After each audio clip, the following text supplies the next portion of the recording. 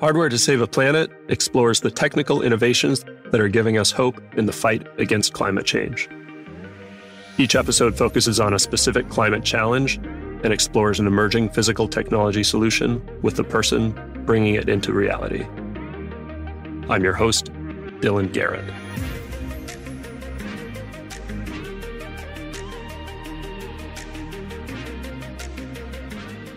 Welcome to another exciting episode of Hardware to Save a Planet.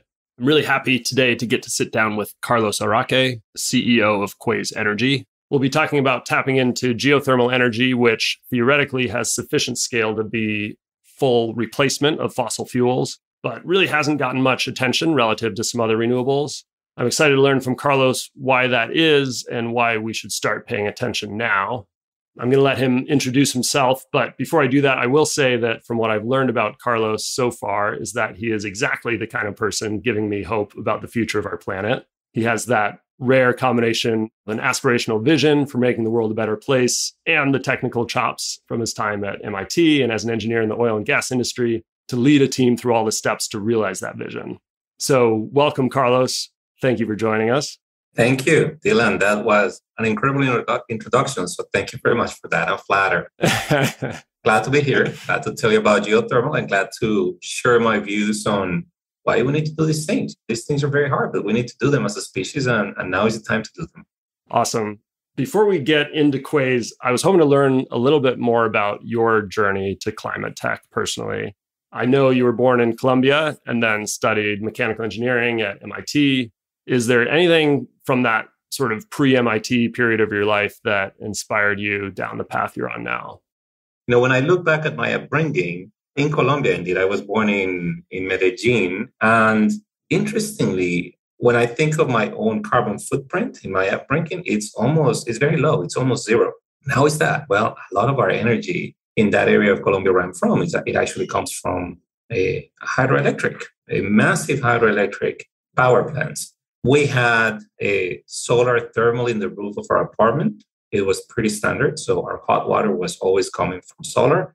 And I think all of those things connect backwards, but not forwards. You know, none of that brought me to where I am today. But engineering and my passion for engineering and building things is what brought me to where I am today. I left Colombia at the age of 19 to study engineering at MIT. I went there as an undergrad to do mechanical engineering. I also did a master's and then I took off to work in the oil and gas industry. I work in Houston, Norway, and England, mostly in the technology side of oil and gas. Company called Schlumberger, so less focused on the actual operation of oil fields and more focused on the technologies that it takes to make oil and gas possible. I held a 15 year career with them. I'm a mechanical engineer, but of course, you have to learn many, many things after a while. You become a little bit of an electrical engineer, a little bit of a physicist, a little bit of a mathematician, whatever it takes to really understand what it takes to bring together all of these disciplines. So that was my journey into engineering, into energy. Quaise is something that happens afterwards when I decide, almost at 40 years old, eh, that the energy transition is the biggest challenge and opportunity of our generation, maybe of many generations. So that critical thinking led me to start seeking a way out of oil and gas and seeking my way into something as big as oil and gas to repower civilization. I'm really curious of all the renewable energy sources, how did you settle on geothermal?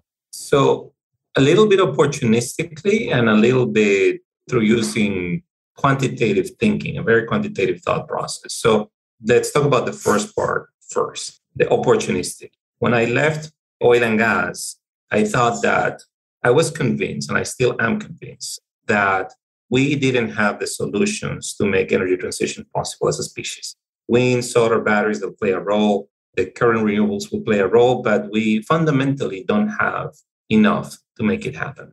So I was questioning myself what does it take to push an agenda which includes a significant technological component outside of a large corporation? Because when I look around, no large corporation is actually working on those technologies that I thought could make it possible. So I narrowed down on venture capital figure venture capital, especially the tough tech or hard technology venture capital, is the only pool of capital aside from grants and government programs that would actually make something like this possible. It's the only place where you can capitalize a company large enough to deploy, to start the commercial journey. Let's not talk about deployment at scale, but start the commercial journey.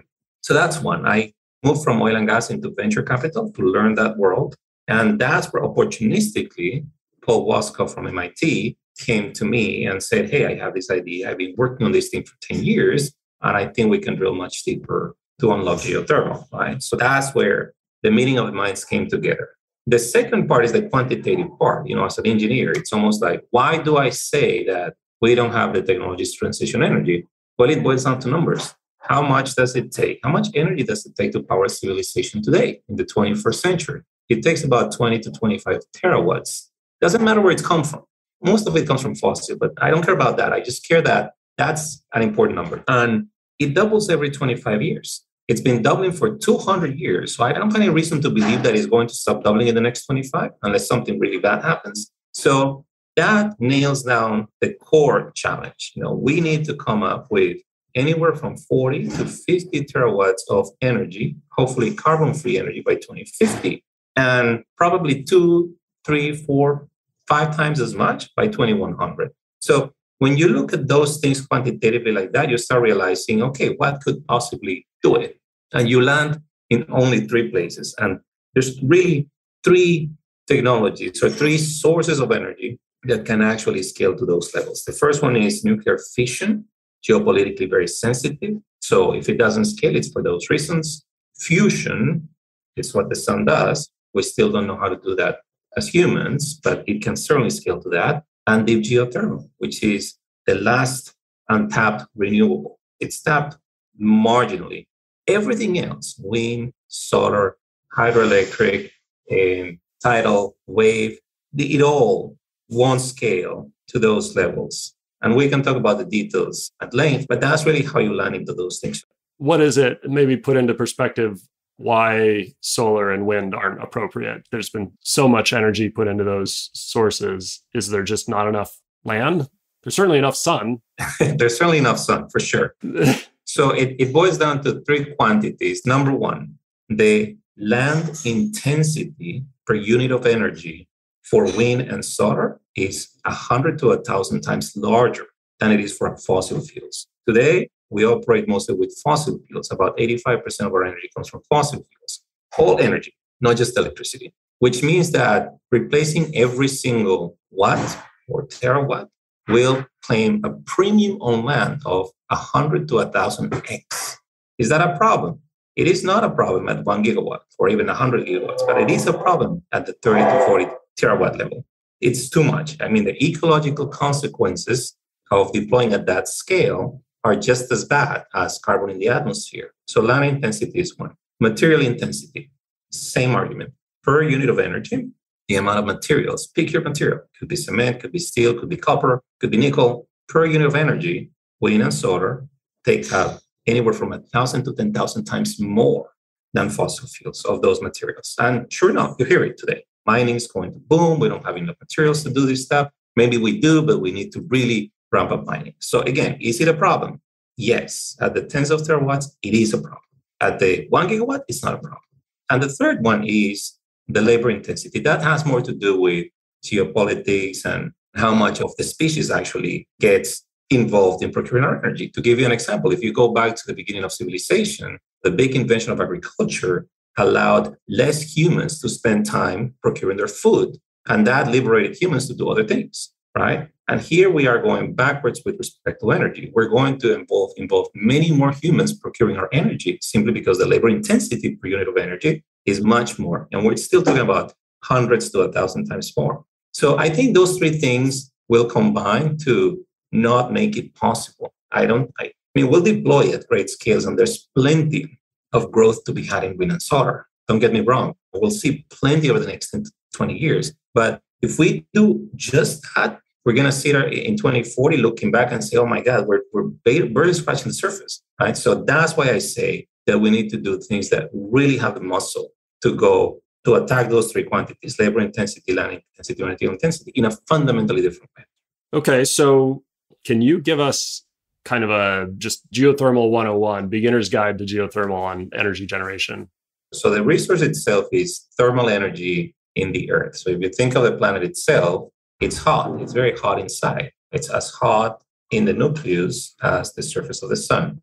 So this energy, this thermal energy that's stored in the planet, is a thermal battery the size of a planet. That thermal energy is there from two sources.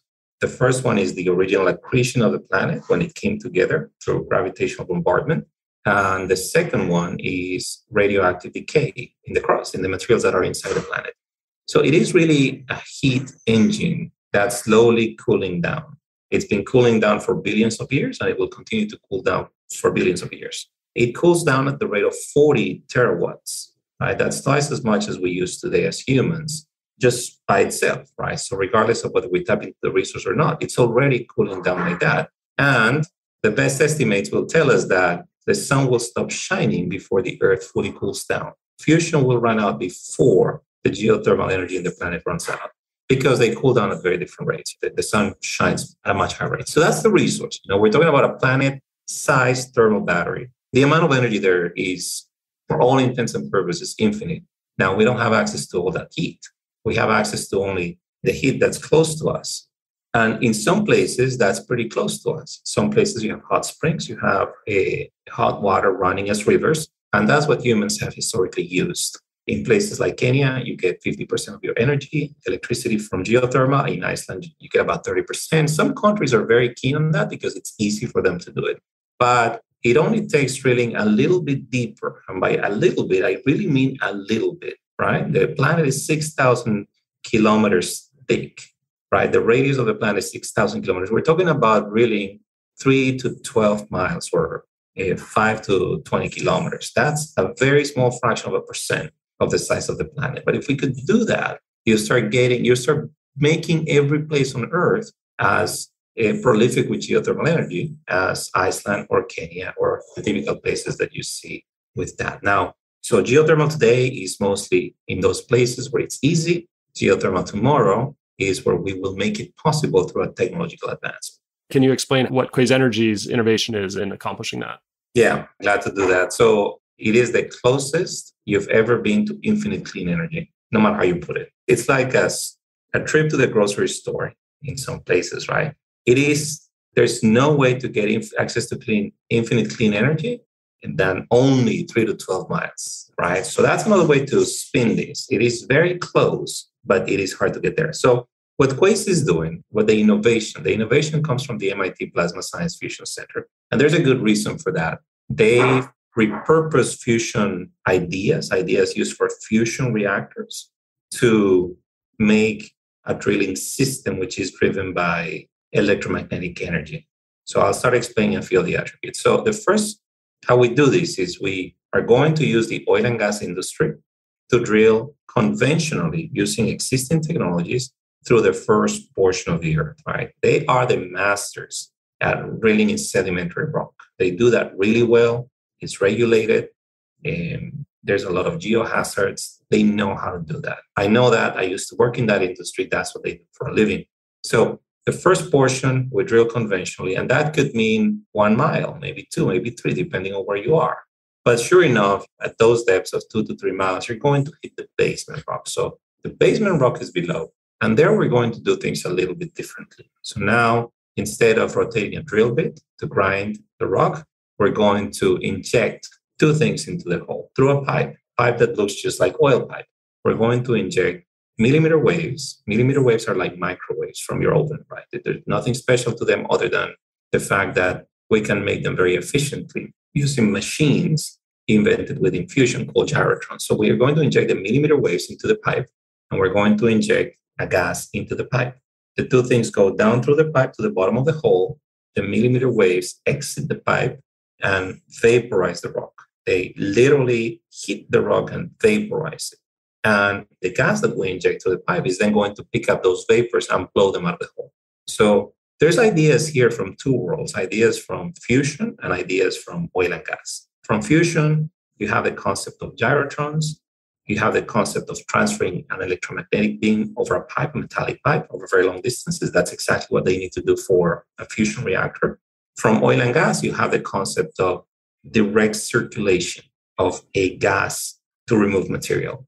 So that's it. You basically, with those two concepts together, you've just made a drilling system that lacks drill bits, it lacks electronics, it lacks fancy sensors. And because it lacks those, its chances of surviving those environments is exponentially greater. Actually, you gave me some great visuals of this stuff some before our recording, and now I will put those up in the show notes if we can, so people can kind of visualize it. But just quickly, maybe just for scale, what kind of diameter of hole are we talking about here? To me, when I think of the size of the system we're designing, it will have to and it will look like the size of an oil and gas operation. So we're talking about eight inch diameter holes, like a basketball. We're talking about holes that are vertical and they're not all 20 kilometers deep. 20 kilometer deep is the extreme range in those places where the geothermal gradient is very low, but in many places, three kilometers is enough. In others, four and then five. So that's what we're talking about. Each of those wells is capable of producing anywhere from 50 to 100 megawatts of thermal energy. So that's a huge departure. To put that into perspective, that looks like an oil and gas well. An oil and gas well produces that kind of power in the form of oil or gas. We are producing in the form of subcritical or supercritical water. Uh, to compare with other geothermal, we're talking about 10 times to 100 times more energy per well than the shallower types of geothermal. We're talking about holes that are consistent with drill rig capabilities, the fleet of drill rigs available in the world today. We're not going to ask the oil industry to have to come up with brand new drilling rigs to be able to hold the pipe for that distance. So, very, very matched to what exists in the world today in terms of drilling rig, drilling technologies, handling capabilities, and very importantly, and I always talk about this, the ability to use the steam at the heat rates and at the grade necessary to repower a power plant. You know, there's 10,000 fossil fire power plants in the world today. What if we could repower them with this steam as opposed to retiring them and creating all brand new infrastructure with wind and solar, for example? So we really design around what the world has today and how do we actually plug and play into that world. You're effectively replacing the energy source that all these fossil based power plants are using today, but all the downstream infrastructure is still usable for generating electricity. Very much so. I mean, it's we gotta move fast. So there's 10,000 power plants, and they produce mostly two thirds of the electricity we consume in the world today. And I think repowering them is such a beautiful opportunity if you can fit the steam to them. And you're right. The only part about a power plant that's problematic is the boiler that's burning the fossil fuel to make the steam. Uh-huh. But if you could get the steam of the same grade from the ground, that takes care of everything, right? That basically eliminates a very small fraction of the infrastructure, the boiler, and keeps the other 90% of the infrastructure intact to repower. So that's a foundational idea. And, and even if we don't repower a power plant, we build a new power plant if necessary, right? If you go to a place where there's not a power plant, you build it. But the important thing is that there's plenty of, there's a whole industry in the world today, which has taken almost a century to create, that is in the business of building power plants. So again, even if we have to build a power plant, you are pulling on those industries that are already made. There's workforces, there's supply chains, there's regulatory frameworks already in place. I don't think we can afford to ignore 100 years of fossil energy development just like that if a solution as simple as that can come forward. We talk about it being an infinite source. Is there an infinite source of energy at each drilling site, or can you kind of deplete the heat in that local area? So nothing's infinite, not even solar is infinite, right? The sun will eventually die. Right. But for geothermal, the type of geothermal we're we're bringing forward, you normally design the site to produce at the design point that you design it for for 30 to 50 years. Those are the typical depreciation schedules for these assets. So it means that after that time, there will be thermal drawdown. The rock down there will get colder. And by colder, I'm talking about five degrees colder, five to 10 degrees colder. I'm not talking about chilling the rock. That's not possible. So then you're off the design point. At that point, your steam is no longer what's optimal for the power plant. So that may force you to move away from using that steam as an electric generation source and maybe use it for other uses. Or that may require you to move to another site. If you move to the north, to the south, to the east, or to the west by, let's say, a mile, you have fresh new rock there where you can replicate the process and have another 50 to 100 years. And you can do this no matter where you are. Now, what happens to the one you left behind is that in another 50 to 100 years, if, you were, if, if we allowed ourselves as humans to think that long, which capitalism doesn't allow us to do, um, you could go back to that one and it would be refreshed because heat keeps emanating from the center of the earth and it continues to heat that rock back up to what it was before. So, arguably, you could go back in 100 years and you have an asset to go back. Now, we capitalism doesn't know what to do with 100 years, but this is what's going to happen. And, and sure enough, you see it in many places. There's geothermal power sites that have been going around for decades, if not 100 years, and they still keep giving, keep giving, and keep giving. So, actually, repurposing those power generation plants is a big part of the story.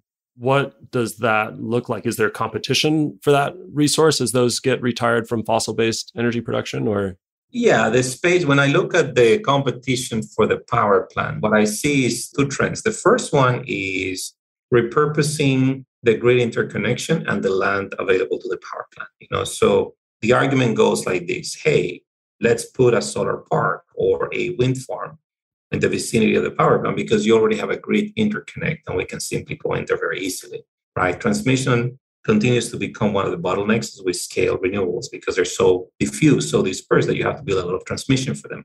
Uh, people also say things like, let's put thermal generation batteries or batteries, very large battery banks, co-located with the power plant. So they're really looking to repurpose a very small portion of the power plant's assets, the grid interconnection and the land. The other camp, the energy sources that have the hump to actually repower the power plant, the turbine, the, you know, I mentioned three, and sure enough, the other two are also aiming to do the same. When you look at fission or fusion, you hear them talking about what if we put a small fission or fusion reactor to feed steam to the turbine rather than from the boiler, which is the same idea we're promoting. So those are the two camps. That's the competition. It will boil down to whose steam is cheaper, including gas. The steam coming from gas will have a role to play because uh, economics play a role. But I think that's how you think about it. Now, I think that repurposing only the grid interconnect is wasteful. I think it's much more elegant and efficient to repurpose the full asset rather than just the grid interconnect. And I want to be clear with these people when they think of coal power plants or gas power plants, they imagine these 70 year old old things that need to be put down anyway. Not at all. I mean, there's hundreds of power plants being built in the world brand new today. Maybe not in the United States, but but you see, those are going to be around for the next 40, 50, 60 years. Those are the ones that represent a risk to the energy transition and the ones we want to use capitalistic forces through this technology to actually reconvert. So that's how we think about it. I mean, they're they're, they're going to be there, and if we don't repower them, they're going to be spewing CO2 for the next for the rest of our lifetimes. Really, I'm curious about scale a little bit here. So I imagine that replacing terawatts of fossil-based energy is a massive undertaking. Can you help me put that into perspective? How many wells are we talking about drilling? How many power plants are we converting? Yeah, so a terawatt, how much is a terawatt, right? A terawatt is the total electric consumption of the United States today. So that's the scale we're talking about. And the, the United States is the arguably the, the biggest consumer of energy in the world, maybe very closely followed by China. So that's a terawatt.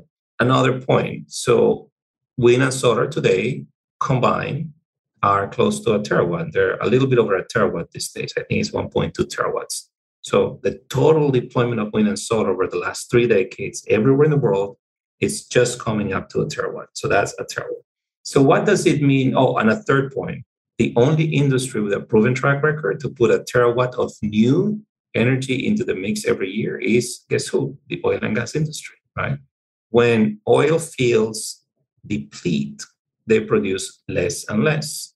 And the world still sucks up, depending on the year, anywhere from 80 to 100 million barrels per day.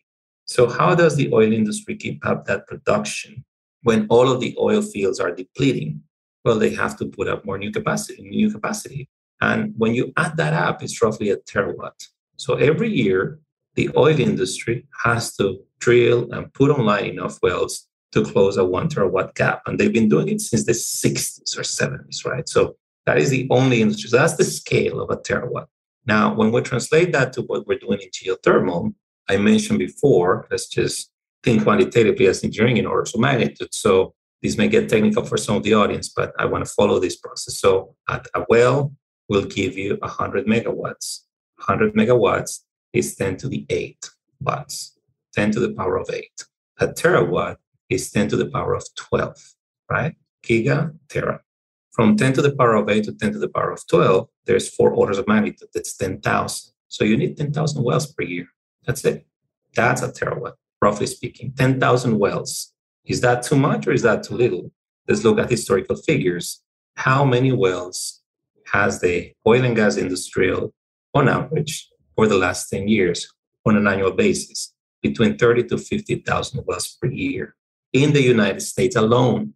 Right? So the oil and gas industry, and I, I, always stress this because these scales are important. You know, replicating these scales takes centuries. It's taken a century for this industry to emerge with the size that it has today. So we're talking about 10,000 wells, of which the oil and gas industry is capable of doing 50,000 on a good year, 30,000 on a bad year in the United States alone. So it is within the capabilities and it is these are different wells. They're deeper. That's where the technology comes in but otherwise they're the same. Same mobilization same logistics same infrastructure scale up. So that's basically the best way i can put it.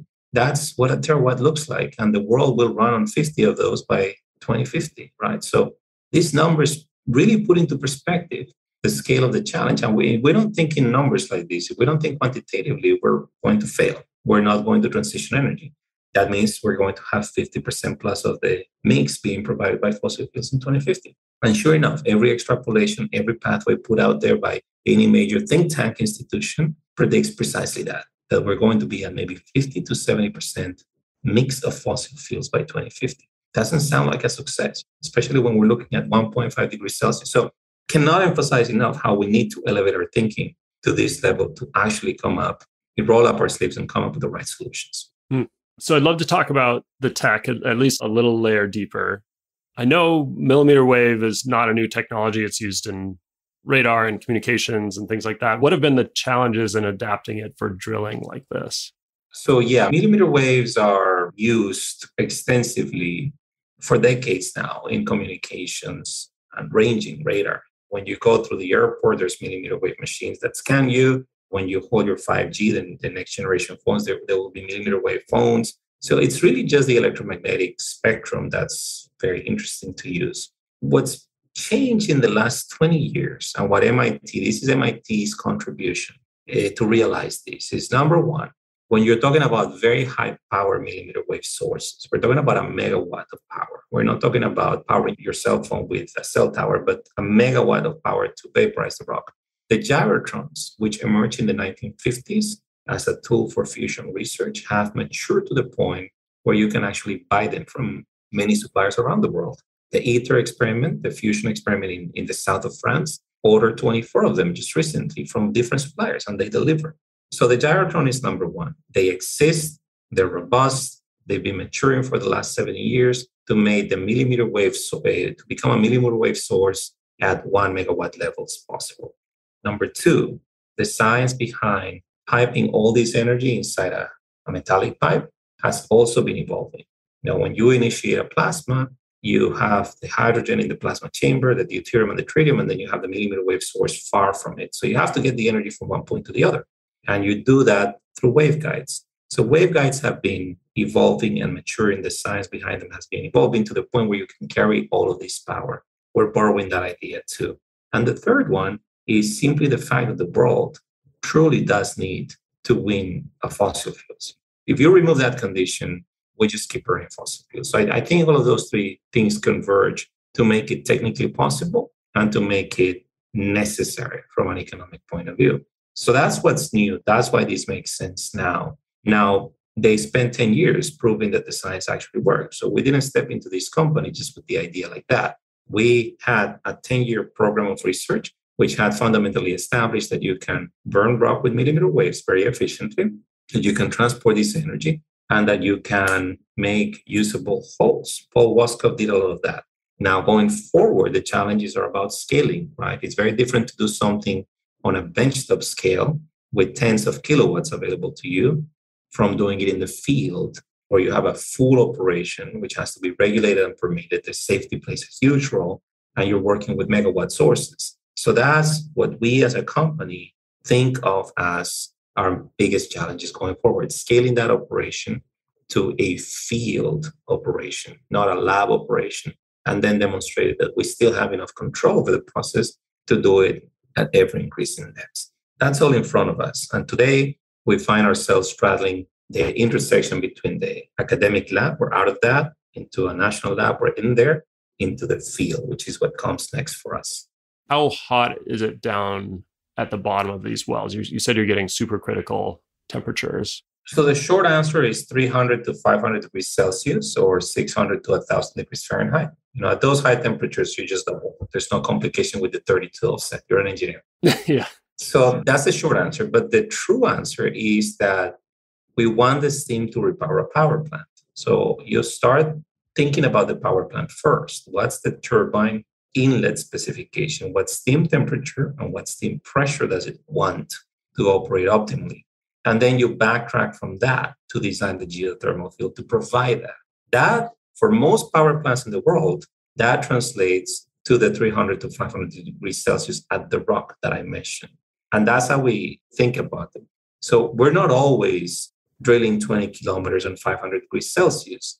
We drill what we have to drill to feed the turbine what it wants, what it needs. And that roughly translates into 300 to 500 degrees Celsius and 3 to 12 miles universally, globally speaking, for this planet. Right. So that's how we, we think about that. Now, how do we remove the heat? How do we extract the heat? The heat is there. There's zero uncertainty about that. So unlike oil and gas, where there is a resource uncertainty, there's such thing as drilling a dry well and losing all your money because you can't get a single drop of oil out of that well. There's the concept doesn't exist here there's always going to be heat. And to interrupt you, that does exist with traditional geothermal, right? I, that's something I've heard is that it does exist. There is a lot of sort of drilling exploration when you're not able to go as deep as Quaise is able to go. Yes, and the reason it exists is because today almost 100% of the geothermal that exists in the world today is hydrothermal. So it's looking for hot water in place. So you could not hit the water. You could hit, you could miss the aquifer by 100 meters. If you missed it, then that's a dry well. You have to sink the cost. But we're not going for the aquifer in place because at those depths, it's very unlikely that aquifers will exist. We're simply looking for the hot rock. And the hot rock is always, there's no such thing as missing the hot rock by 100 meters. It is impossible. It's everywhere. There is such thing as maybe having to drill 100 more meters to get to the temperature you wanted. That's relatively small compared to the bigger scheme of things. So to extract the heat, you need to circulate the water. You need to get the water in contact with the rock. The water we put into the hole, you got to get it in contact with the rock. The rock itself, you need a heat exchanger. And that can take a variety of forms. The simplest one is that I will introduce a concept from geology, which is universally accepted. The crust of the earth is critically stressed and therefore fractured everywhere. So there's no such thing as solid granite or basalt in the basement, which is without fractures. It's always fractured. So, in many places, those fractures have enough permeability to allow you to circulate water through them. If you put a hole in one spot and a hole in another spot, in between them, you have this rock, and there's enough permeability for water to move forward and sweep the heat away from the rock. That's one. The second possibility is that, yes, the permeability is there, the fractures are there, but it's too low. You need to enhance it. So you need to apply about a 500 to 1000 psi additional pressure from the lithostatic to open them up, and then you prop them open. This sounds and looks like a fracturing operation in oil and gas, but it is quite different when you actually execute it because you're in a very different geological setting. Now, it's not easy to do, and there's a lot of research going on in the world to do this, not least the, for, the, the Forge experiment by the Department of Energy in Utah. Look it up, for example, or look up the Japan Beyond Brittle project in Japan, right? Or the IDDP in Iceland. All of these people are trying to enhance those processes. But in that process, you enhance the permeability that then allows you to sweep the heat away. In a third embodiment, you don't need enough heat rates. Let's say you're not trying to repower a power plant, you're trying to simply feed some hot water to an industrial process or to an agricultural process that requires a lot less heat per well than a power plant would. So you may get away with a closed loop system, which means you don't actually fracture into the rock. You simply circulate the fluid in and out. Best examples of companies like these are Eavor, Greenfire, and a few others that are doing that. So those are different schemes depending on the use that you have for the heat. I do believe that, again, when we talk about terawatt scales, you need to fracture the rock. You don't need to fracture the rock. The rock's fracture. You need to enhance and open up those fractures and prop them open so that you create enough permeability to get the heat rates that you want. So that's how you extract the heat. And they call this an enhanced or engineered geothermal system. The idea goes back to the 70s and it's been successfully carried out in some places and unsuccessfully carried out in other places. So let's not diminish that part of the problem. It is almost or equally as hard and as important as the drilling part of the problem, but that's how you would do it. The, the drilling gives you access to the heat, and the fracturing or enhanced geothermal system, EGS approach, would give you access to the surface area to then produce the heat for a long time at the rates that you want. And that's effectively done by pressurizing the hole. There's two mechanisms. In oil and gas, it's mostly through pressurizing. You actually pressurize, and pressure alone is the mechanism that gives you the permeability enhancement. But in geothermal, temperature plays a significant role too. The best analogy of that is what happens to block of ice when you throw it into water. It cracks, it fractures because of the thermal shock. When you're in that deep rock at those temperatures, you basically quench it, you shock it. And I'm not talking about freezing it, I'm talking about dropping it from 500 degrees C to 300 degrees C very quickly. That goes, that, that creates a fracture network, which then, when you apply pressure, will extend. And then you can repeat this process. This happens in oil and gas, by the way, where people are producing oil and gas from too hot a well, and we're talking about 170 to 200 degrees Celsius, there is a concern of fracturing the rock because the mud is too cold. So now imagine the rock is not 200, but 400 or 500. This is certainly going to happen. And that plays a big role in the fracture process. So it's more a thermally and pressure driven process than simply a pressure driven process like it's in oil and gas. Mm-hmm. So this is an important aspect that I hadn't realized before, but there are two hole, two drilled holes, one to input the cold water and one to take out and then that water transfers through the fractures and the, your heat exchanger, and then a second hole to take the hot water out or the supercritical water out. Yeah, in fact, you need one to inject and to produce because the water changes density significantly on the way in and out. Okay. When you inject, it's close to a thousand kilograms per cubic meter, the density, and when you produce it, it's close to a third, a half to a third of that. So you need more room on the way out than on the way in. So normally the minimum set is three wells, one injector, two producers, and you repeat that arrangement. That arrangement will give you anywhere from 100 to 200 megawatts of thermal energy, and you'll repeat that arrangement as many times as necessary to get the heat rates that you want. If you're trying to get a one gigawatt power plant going, well, you'll need to repeat that arrangement five, six, seven times.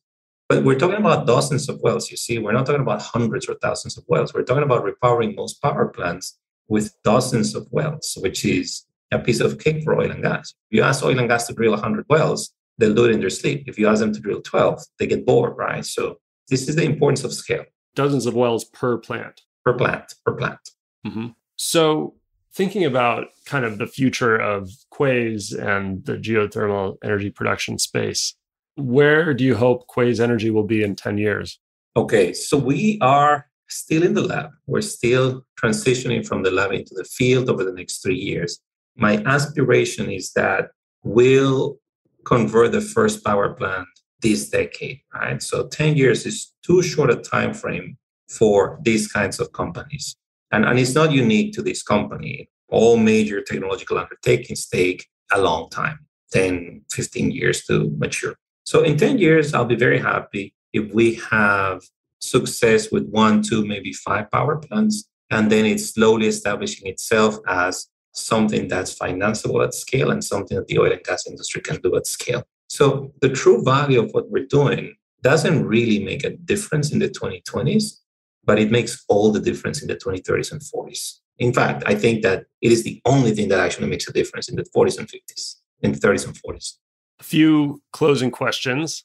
So, and we touched on this a little bit, but how optimistic or pessimistic are you about the future of our planet and why? I get anxiety about these things as a human. Forget about me as Quaise or as an engineer. I have kids, 13, 16, and 21. So they're not babies, but they're not too old, right? So they're going to have these issues in their lives. So it belongs in our generation to solve this problem. And when I look at history, I don't think we've faced this challenge as a species, but we've faced very daunting challenges in the technology and the knowledge we had at the time. So I see repeatedly in history that we've been able to overcome, but we need to focus on the right things. So I see very much myself as an optimist and as one of my key missions in life to put in front of the world the fact that these kinds of things are not optional, they're absolutely necessary, and that we have to support them and make them happen. Because if we don't, we're not going to succeed. And I'm very vested in our success as a species. So I'm optimistic, but I think there's a lot of awareness to be had. And I talk on behalf of fusion and fission as well, because I think that those are the only other things that can actually move the needle enough to make a difference, right? So these things need to happen, not because they're nice, because they're cool, because they make money, but because I don't think there's any other options. And I don't want to be pessimistic about wind and solar. I think they play a role, but they just don't play at the scale of the problem. Well said. Who is one other person or company doing something to address climate change right now that's inspiring you? So they all fall in that space. I mean, so here I have to be a little bit more diverse. So I've been talking about primary energy supply, right? And that's when I think there's only three ways to do it. But certainly that's not all that needs to happen. There's carriers of energy and there's demand of energy, right? It serves as we don't succeed if we procure all the energy we can from clean sources if we don't have demand centers to consume that clean energy, right? So when we talk about demand or the carriers, there's brilliant companies, everybody doing direct air capture. I think that's a necessity. We have to do that at any cost. That's a necessity. If we put in more than a trillion tons of CO2 in the atmosphere, we got to take it back. So that's non negotiable. On the demand centers, electrification of transportation plays a big role, electrification of industry plays a big role. I won't name specific names there. On the primary supply side, which is where I find my camp more at home because that's the part that I'm trying to solve with Quaise, I love what the fusion companies are doing. And very specifically, I love what Commonwealth Fusion Systems is doing. They've elevated the dialogue and the ambition to the level that's required. And I think there's still a lot of pushback about fusion is going to get, it's going to take another 50 years. We cannot afford not to do things like fusion, right? So kudos to that team, Bob, the CEO, because these things have to happen.